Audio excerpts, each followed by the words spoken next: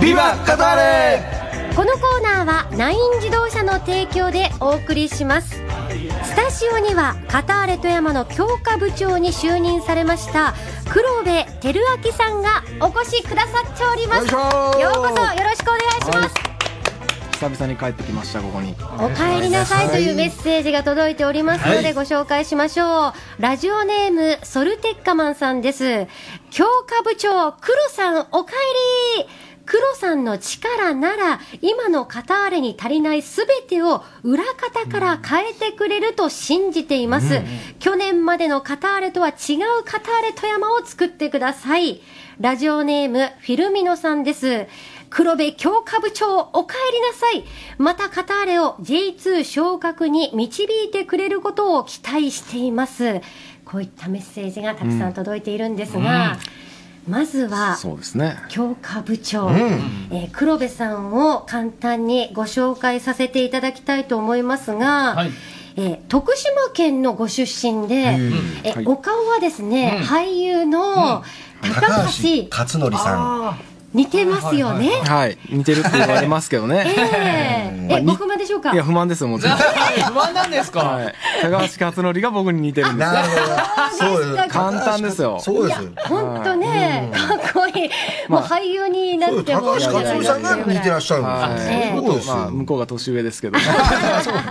大変失礼いたしました。で、2000年に J リーグ京都パープルサンガに入団されまして、2001年には J2 日本人最多30ゴールを達成しておられます。で、2003年には日本代表に選出されていて、えその後、セレッソ大阪、浦和レッズ、ジェフユナイテッド千葉、アビスパ福岡、カターレ富山。で、2015年に現役を引退されて、戻ってきてくれたということなんですね。まず強化部長なんですけれども、すいません、どういうことをやる役目なんですか、そうですね。もうざっくり言ったら、まあ、監督でしょ、うん。コーチ、はい。選手、まあ、他に育成のね、ええ。あのー子供を育てるコーチだったり、ええ。いろんな人たちをもう契約を自分が目の前で交渉して契約をしてもらうっていうのを、もう交渉する立場の人間ですね、へええじゃあ監督選任の時もかなり発言力を持ってらっしゃる、はい。今回は本当に監督は僕自身があの候補として挙げさせてもらって、ええ。まあ、社長にはい。どうですかと、うん。あのこういう人がいますと、ええ。あのまあ、富山を変えるっていう意味ではあ。新しいねやっぱり血を入れるという意味ではうん。僕自身はすごい熱い人だしええ。いいなと思ったので、うん。ぜひということで監督にもぜひ富山であの富山っていうカタール富山を変えてほしいっていうことで、ぜひっていうことでそうなんですね。監督もチャレンンジだということで来ていただきました、うん。決め手は何だったんですか？いや決めてってよりも、純粋にやっぱりこう富山を変えてくれる。はい。でしかも富山のこうなんていうんですかね。人間性というか、うん。すごい穏やかな人多いと思う中に、はい。本当にあの闘争心丸出しの,、はい。あのああいう監督が入った時に、ん。選手たちってどういうふうな反応するのかな、うん。むしろそれぐらい熱く J3 に落ちちゃってんだから、、はいやいや上がろうよって。上がるためにうん。何ができんのっていう気持ちをやっぱり全面的に出してほしいってそれをやっぱりこう上からええ。出していける人っていう意味では三浦康志監督がはい。やっぱり僕は適任だったと思ったので、チョイスをさせてもらいました。先週ね、1時間ほどにわたります会見があったんですが、その会見の中からちょっと一部お聞きいただきたいと思います。はい。三浦康俊監督が目指すサッカーとは？シンプルな言葉で言えば流れるようなサッカーをやりたいです流れるようなんですね。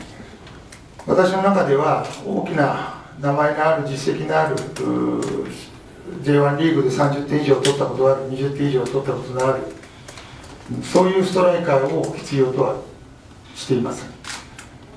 チームでコレクティブに点を取る、えー人に依存し一人に頼るサッカーではなくチームで数多くの攻撃パターンを生み出して点を取るその中でこのカタール富山で点を取る選手というのは、えーやっていく中で存在していくと思います。私が富山に来てえー感じることであるややはり北陸福信越でナンバーワンチームになるそういうポテンシャルであったりそういう土台というものは僕は富山にはあると感じております。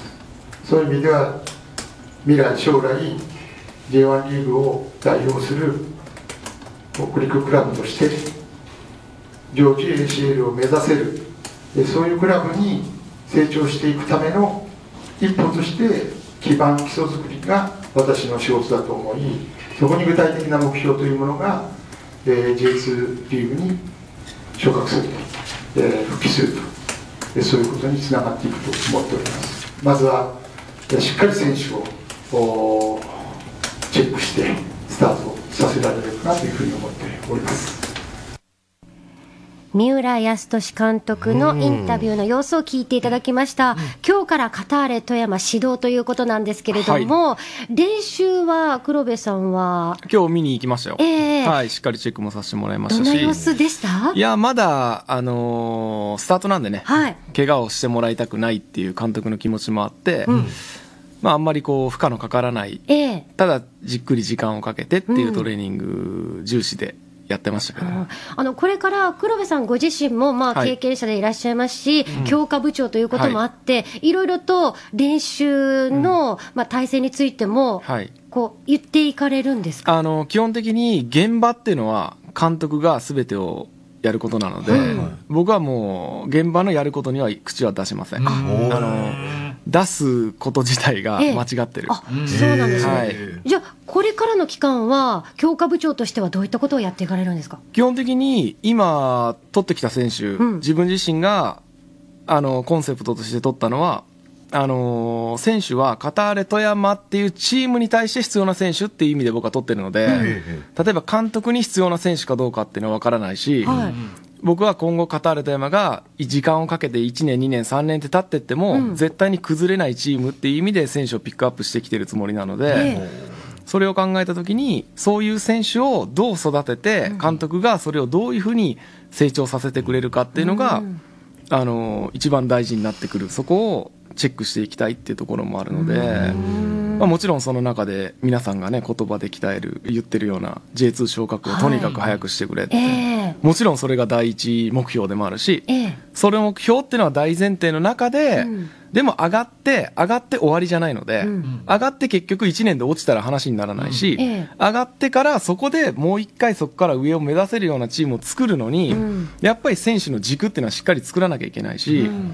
それを少しずつ今育てる、それにプラスアルファ、まあ名前を言うならば、やっぱり32歳の江藤選手って背番号10番の、あの徳島から来てる選手がいるんですけど、はい彼なんかは本当にうちの軸になっていける選手だと思ってますし、もう本当に今もともといる選手では苔口っていう選手が僕の中では、はい。はやっぱり軸になっていく選手だと思うので、そういう軸になれるっていう選手がやっぱあと中盤に1人後ろに1人もちろんゴールキーパー、うん。こういう縦の軸に本当に計算してあカターレってこういう選手だねっていう名前が出るぐらいの選手がまずいること、ん。そこに若い選手とか、まあ、大卒高卒も含めてそういう選手がいかにそのレギュラーのところを取って代われるのかっていうそこの軸はずっとぶれない状態で、うんクラブとしては作っていきたいなと思ってるので、いやもうさすが強化部長ですね、ええ。引き込まれるというかもうハーフタイムにいろいろ教えてもらってる感じになりますよ本当に。だから、まあ、僕の仕事っていうのは基本的に今いる選手たちがじゃあどれぐらい活躍してもらえるのかっていうところに、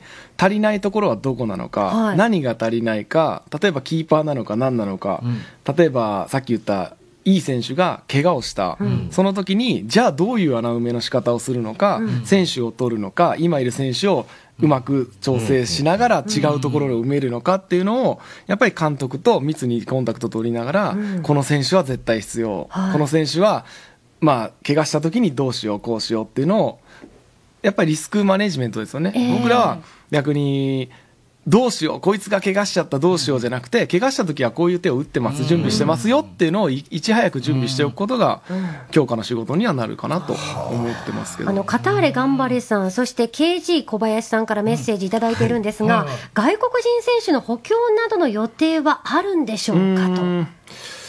まあそこはええ。シーズンが始まってって、うん。あのーまあ夏とかまあ、春先になるかもしれないし、まあ、監督と話をしながら、あの本当に昇格が狙える位置にいるのかとか、はい。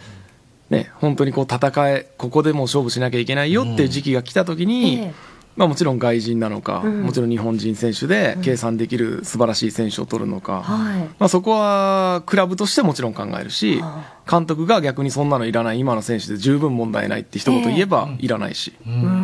基本的にそこはもう監督とコンタクトを取りながらやっていきたいなと思ってます。あのシーズン中にフォワードが足りなくなったら黒部さんの登録ベンチ入り出場はありえるんでしょうかといただきましたが。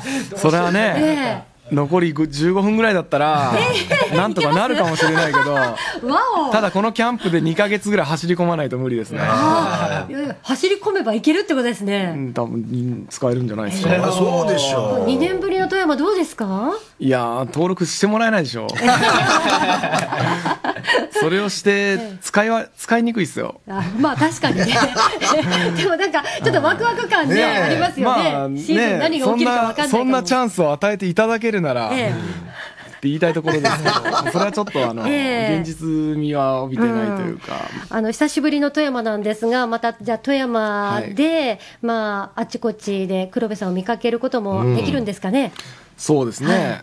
まあ、逆に言ったらおしゃれなカフェはどこにあるんだっていうのを教えてくれ じゃあそういう情報をまたメッセージでね、はい、教えていただければ、はい。出没する可能性あり。カフェがご希望ですか？そうですね、はい。ゆっくりコーヒー飲みたいですね。選手が来ないところで。あららら。なんかプライベートなお話もね、ぜひ聞きたいので、はい。またお越しいただけますかね？はい。ね。今日はカターレ富山の強化部長の黒部照明さんにお話を伺いましたが、このコーナーでは選手やスタッフへの質問、応援メッセージ、メール、ファックスでお待ちしています。ファックスは076-441-0003番、メールはスタジオさんアットマーク knb.ne.jp です。カターレ富山の情報はホームページにもアップされていますし、Facebook、Twitter には公式ホームページもありますので、ぜひご覧ください。えーカターレ今日から始動しておりまして、その様子、KNB のニュースエブリーでも放送しますので、えー選手の皆さんがどんな表情しているのか、ぜひテレビでチェックしてください。えーカターレ富山強化部長の黒部さんでした。ありがとうございました。ありがとうございまし。た